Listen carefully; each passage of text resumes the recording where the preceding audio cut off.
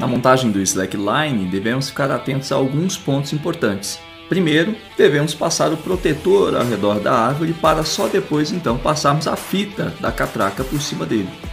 A catraca passa, portanto, dentro do olhal e é muito importante lembrar de fazer o V, que é aquela dobra na fita para que ela saia reta pelo olhal. Esse procedimento deve também se repetir do outro lado na outra amarração da árvore. É o mesmo processo do lado oposto da fita, passando, fazendo a dobrinha na fita até que ela saia em V. Essa saída em V facilita para que a fita saia reta desse olhal e fique reta depois de montada. Passamos toda a fita, portanto, pelo meio da catraca e voltamos pela parte de baixo.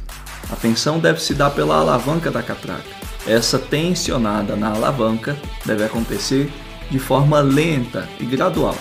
Mas antes de começar a catracar a fita, é muito importante tensionar toda essa fita manualmente.